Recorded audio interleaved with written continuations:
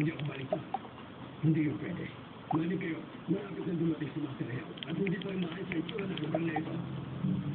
Hoy, bakit may mga pa rin napatuhan dyan? Nakaswaya ng tayo. Huwag ka naman gumawa ng falso. Ang tagapangalaga ng lihim ng kung fu ay hindi pwede imapas